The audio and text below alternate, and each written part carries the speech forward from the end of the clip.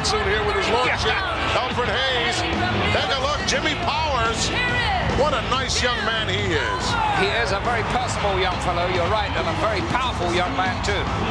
Always in superb physical condition, and that's a tribute to him. His opponent, being led to Who the is ring that? by Harvey, Harvey Wippleman. Talk about sleaze bags. There's one right there, your lordship. I've had nothing to do with him, so I really don't know. Well, take my word for it. I've been around a long time. And I can take your word because you've told me things like that before, and it's always turned out to be true. This guy's strictly NG. No good. And how about that burly fellow behind him? The bully. Oh, that's nice. Spoke over this way? yes. You were having trouble with your tonsils as well before he coughed up. What's this? Oh, come on. Give me a break. He's just a kid. That's the ring attendant. He brings the jackets back. How easy to intimidate someone like that. He stole on his tie. That's terrible. I may have to go down there, Alfred. Well, I'm going to try and keep you here with me because those days for us really should be over, Gorilla. I know sometimes it's awfully difficult to restrain yourself. Me, I've definitely learned how to do that with fellows like this around, the bully. Not him. I know I can beat that guy, Alfred. Oh, yes. You'd No question about it. definitely. Well, you probably could beat the bully too, but but I don't think uh, at this moment you should venture I'll back that up to. Jimmy Powers. yes. I'll let Jimmy take care of that. He is a big burly fellow, the bully. Handful of hair. I'm sure he could have easily powered out of that. Yes, it just goes to show how he's going to try and handle this match.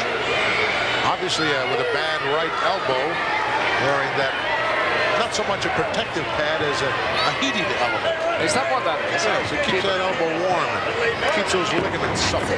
keeps the blood flowing around, I suppose. Oh, vicious shot there. Could be used as a foreign object as well. Uh, yes, and judging by the way this man's wrestling, that is a very high possibility.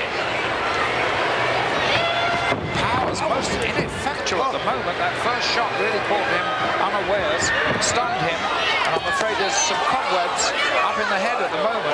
But that's not a good tactic, is it, Gorilla? Absolutely not. Not going to beat anybody by throwing them outside the ring.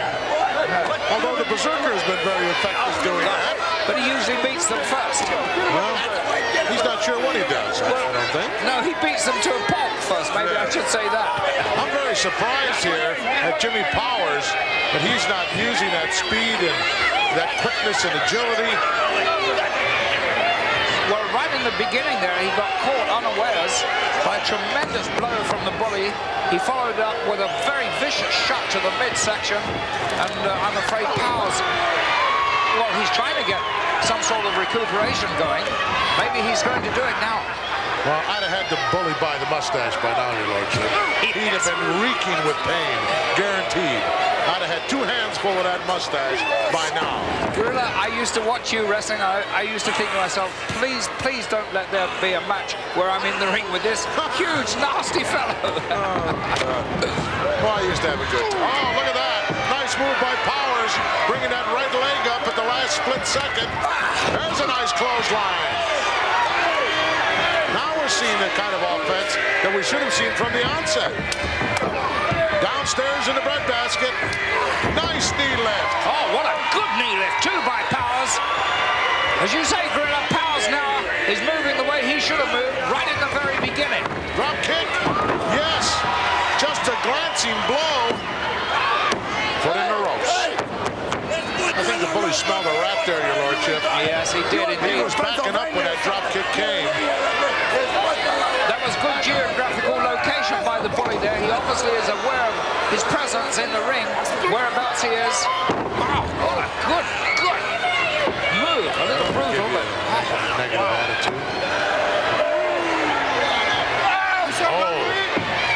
A version of the old stump puller, your lordship. Yes, a double stump puller, and that is What to the lovely very- Mike McGuirk. Here is your winner,